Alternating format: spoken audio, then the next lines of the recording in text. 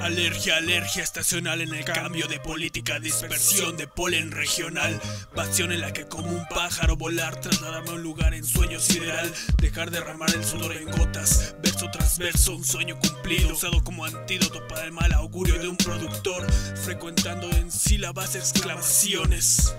Saliva de dragón con altos gérmenes, más que hoy le pregunto al viento por qué desperdicio el aliento ¿Por qué gasto mis fuerzas en hablar en voz alta que nunca escucha? La sociedad pudiera convertirse en llamas y las palabras podrían convertirse en planas, pero nunca recuerdos en pestes, solo en plazas acumuladas en nuestra cabeza cuadrada en plazas descansa por madrugadas como en anderes nuestra confianza ahogada de remordimientos por haber herido las cualidades de un sentimiento. En grietas la generación se queda, somos cualquiera que tiene problemas. Verso tras verso, un sueño cumplido, usado como antídoto para el mal augurio de un productor.